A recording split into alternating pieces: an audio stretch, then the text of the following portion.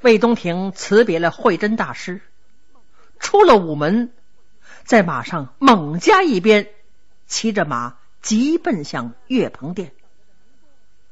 在天安门前等着的明珠看他快马奔来，就跺着脚埋怨：“我以为你去去就来，怎么耽误了这么久？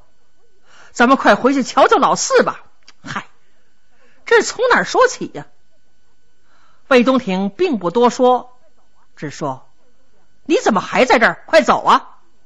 两个人便放配并肩疾驰。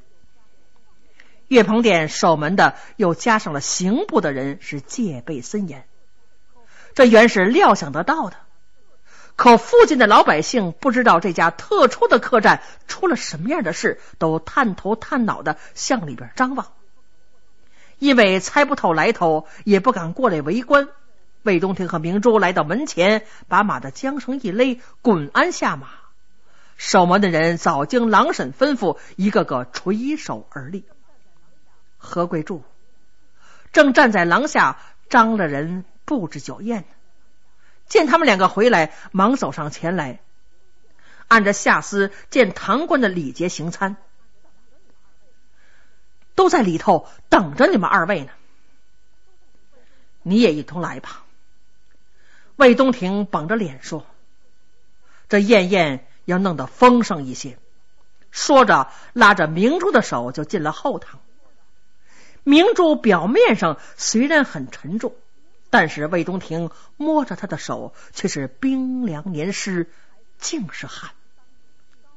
还是五次友当年高谈阔论的地方，只是主座换了如醉如痴的郝老四。两旁边坐的是木子旭和犟驴子，全都阴沉着面孔不说话。倒是武次友呢，还洒脱一点。见魏东亭跟明珠进来，起身就让：“郝老四兄弟等了你们有一阵子了，咱们坐着谈吧。”说着就瞧何贵柱进来，指挥着厨子一样一样的上菜，却是一桌水陆全席。大盆小碗的摆满了桌子，足有四十多盘冷盘。众人只是呆看着，谁也不愿意动筷子。还是明珠举杯，首先开始说话了。他跟郝老四说：“四哥，事情嘛，兄弟们都已然知道了。大丈夫敢做敢当，视生死如儿戏。”我看四哥就是一条汉子，来，兄弟先敬你一杯。郝老四举起杯来看了看四周的人，忽然间笑着说：“哈，还是明珠兄弟痛快。先死者为尊，这杯酒我就先敬了。”说着，一伸脖子就喝下去了。请大家一起饮了这杯酒。何贵柱却眼睛模糊。滴酒难下呀！他呜呜咽咽的说：“好好的，怎么就出了这事儿？真让人寻思不来呀！”说着，泪水是夺眶而出。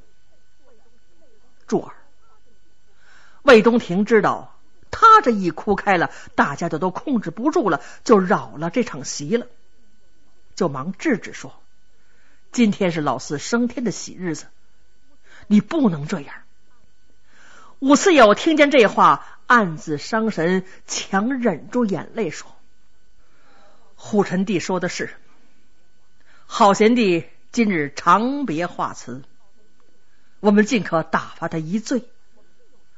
四弟犯了王法，我们救他不出，难道连这个心也尽不到吗？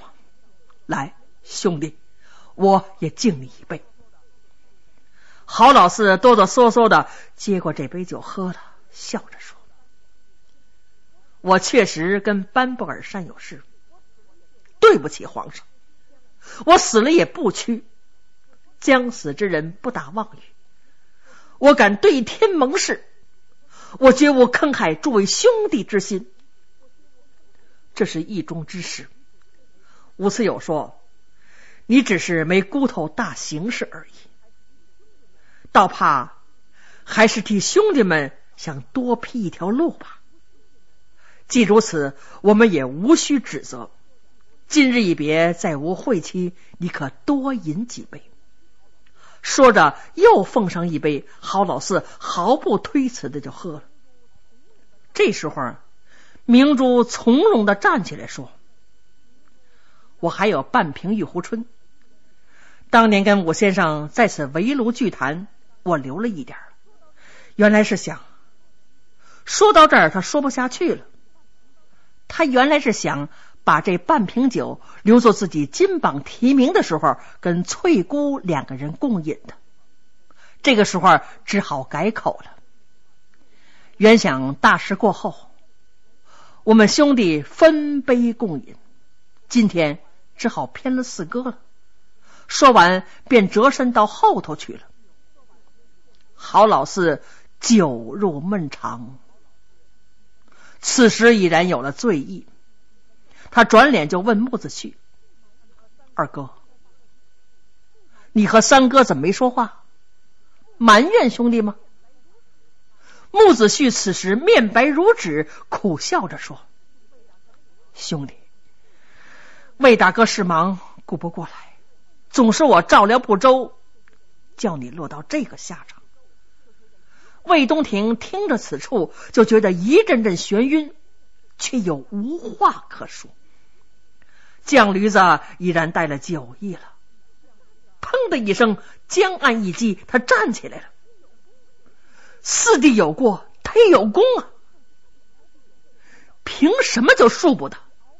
难道说四弟他比鳌拜的罪还大吗？我找皇上说去。说着，他站起身，扭身就走。魏东亭一把就把他拉住了。外头奸袭的军士听见里边有响动。不知道出了什么事，探进头来瞧了瞧，没事，又都退下去了。武次友一看，就急忙劝他：“哎，天心难回，天威难测。自古他本来想说‘伴君如伴虎’，没说，他把话咽回去了，就把这杯酒捧给了郝老四兄弟。”饮了这杯，兄长为你做挽词。见郝老四喝了，他便站起来，语音颤抖的引导：“古今无完人，堪悲上世怀行。九原之下有斯人。”慢着，魏东亭此时真是五内俱焚。昂然说道：“吴先生，你先不要吟下联。我们兄弟几人明日上朝，拼了官不做，换回四弟一条命，或许可以婉转天心。”就在这个时候，明珠捧着半瓶酒进来，听魏东亭说出这句话来，不免心中诧异。今天在万岁爷面前，已然将此事说定了。怎么又要转还呢？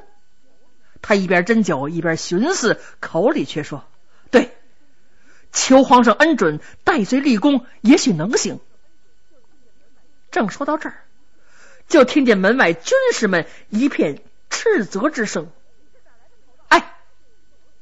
你是哪来的丑道士？化缘也不看个地方，快去快去，躲开这儿！”魏东亭听见外边喧哗，到外边一看。一眼就瞧见胡公山来了。只见胡公山穿着道装，蓬头垢面，疯疯癫癫的说：“哼，皇上还有两门穷亲戚呢。这儿的好酒好菜，难道我贫道就不能吃的、不能喝的吗？”说着，他往里就闯，守门的军士就拦他，哪拦得住啊？屋里吃酒的人全都呆了。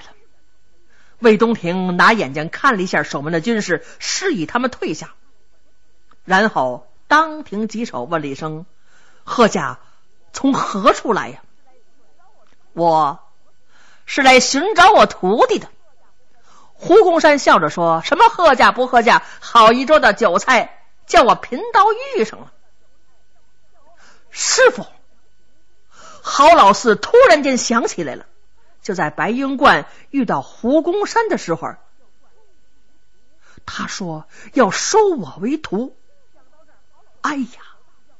想到这儿，郝老四失口大叫：“师傅来了！”哈哈哈！师傅来了！满屋的人都被惊呆了，全愣住了，不知道到底发生了什么事。郝老四这时候依然伏地跪接胡公山了。胡公山大模大样的进来，只是对何贵柱做了一个揖：“何施主，贫道今天要饶你了，你可肯吗？”何贵柱满头是汗，急忙答应：“啊啊，当然当然。”魏东亭灵机一动：“嗯，昔日胡供奉，今日狗道士，这儿有一条臀尖，还吃得下去吗？”胡公山一屁股坐下了，笑着说：“嗯，你还算有故人之情，一条熟猪腿啃起来自然是痛快之极了。”何贵柱急忙到厨房，把一只新焖出来的金华火腿用一个大条盘给端出来了。好，好。胡公山只瞧了一眼跪伏在地上的郝老四，对别的人就跟没看见一样，一把抓起火腿，便手撕口咬的大嚼起来，口里还呜呜着问：“韦施主，这个小厮几时归天呢？”胡公山说话的时候，外头狼神已然得报了，暗箭走了进来，听金问，就接口说：“皇上命他自尽，就在今夜子时。”哼哼，何必等到子时呢？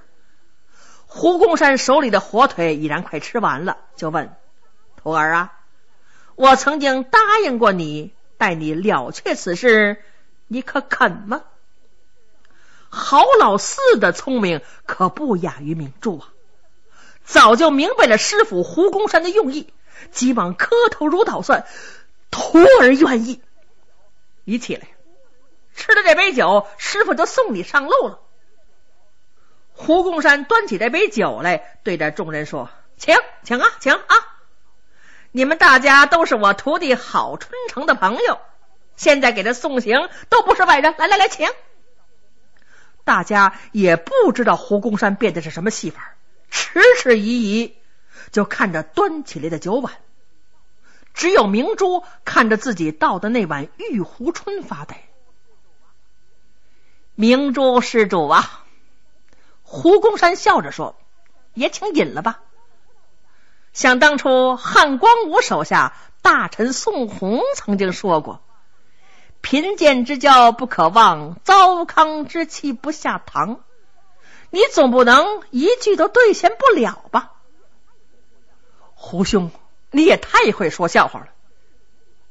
此时明珠脸上一红一白的，酒还能不喝吗？说着便端起光来，却只是不肯饮。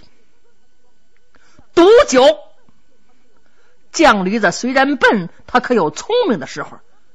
见明珠如此狼狈，当时他醒悟过来，啪的一下把桌子一拍，一猫腰窜过去，一把捉住明珠的前胸，骂了一声：“你这畜生！他与你何冤何仇？你下此毒手！”明珠被他拽的透不过气来，只好苦笑着摇头，断断续续的说：“三哥，你你你错怪了兄弟了，是吗？”胡公山。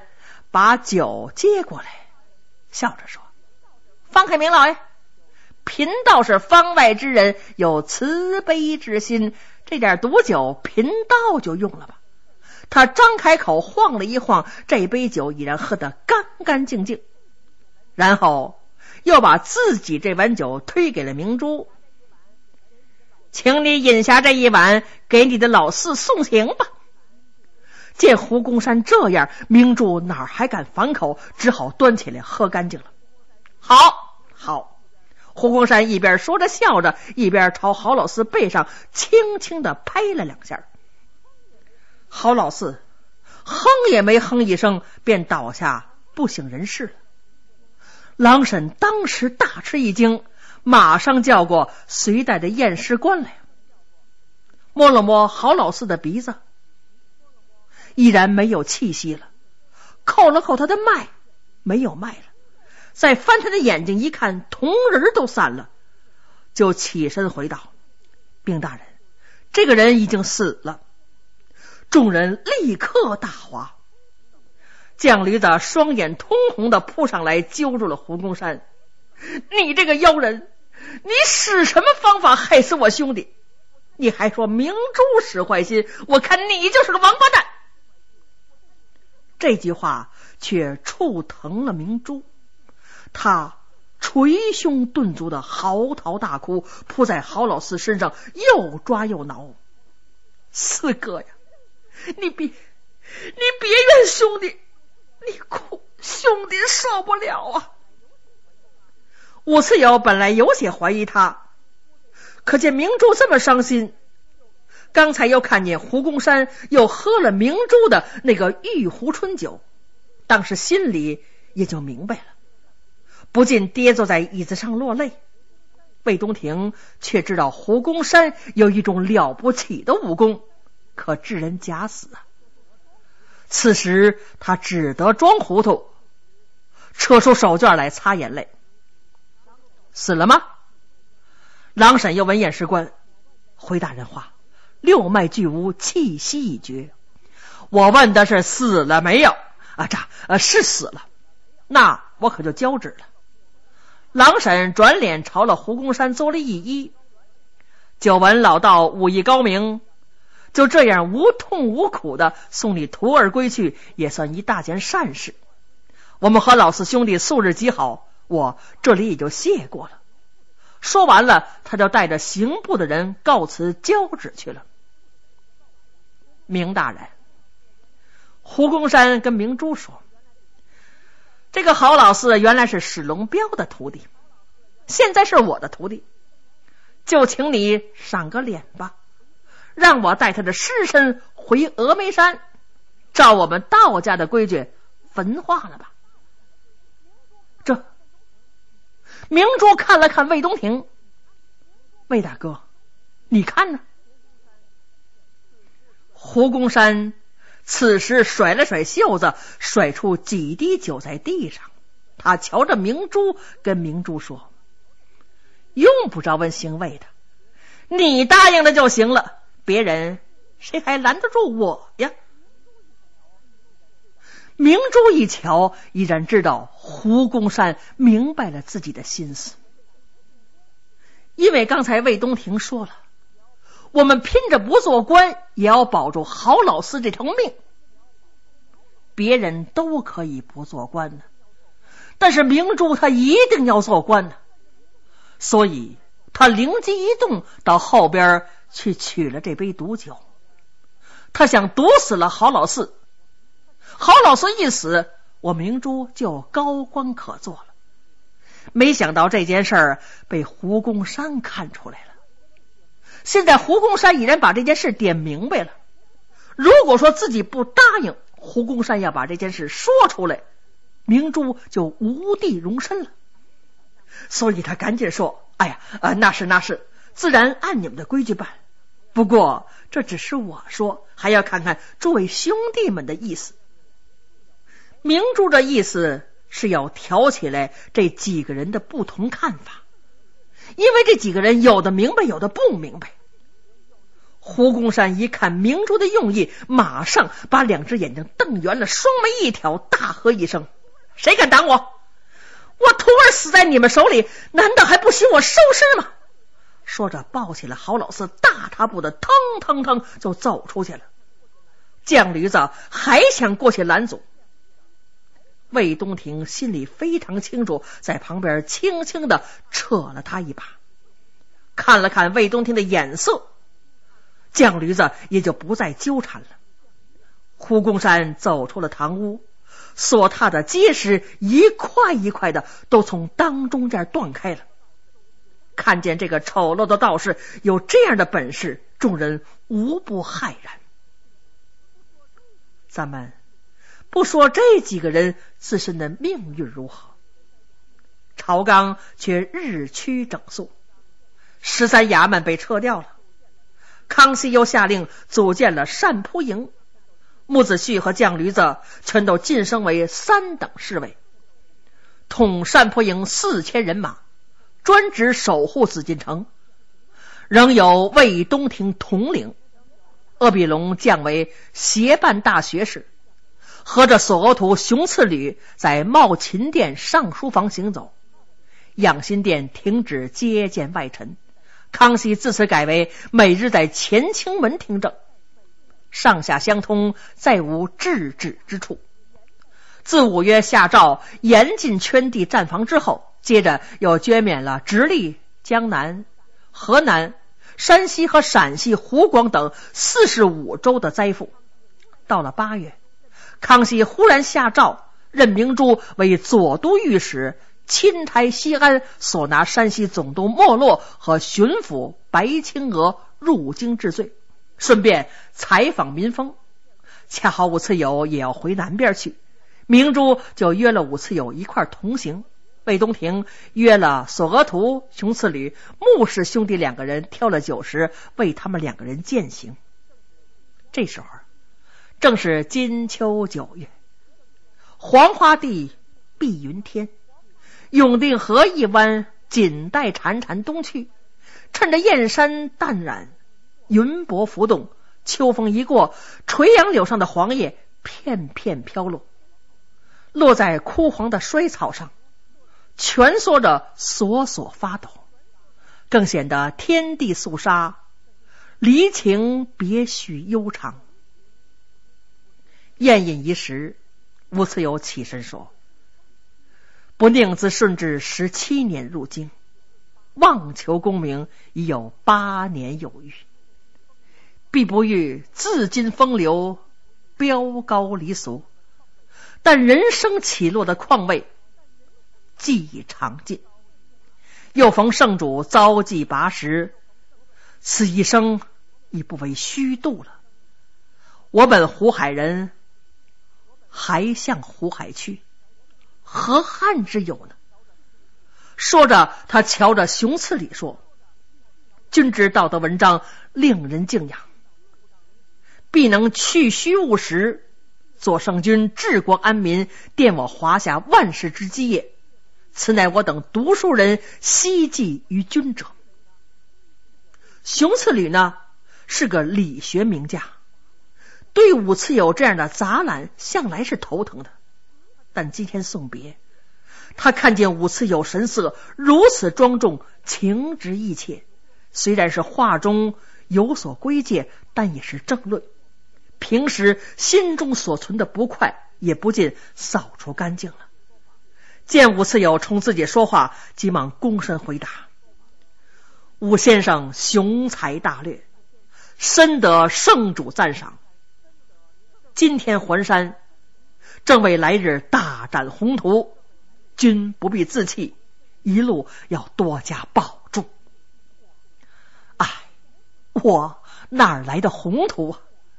武次友笑着说：“他日或与诸位。”车力相逢，如不见气，心远足矣。足下或驾临江南，我与你耕酌论道，再做几番切磋，如何呀？这是说，康熙在所府读书的时候，有时候也带了熊次履布衣相从，见面的时候常做辩论。他们两个人当时的辩论。好像还没有结局的意思，所以熊次礼一听这话，不禁微笑着说：“好，你我一言为定。”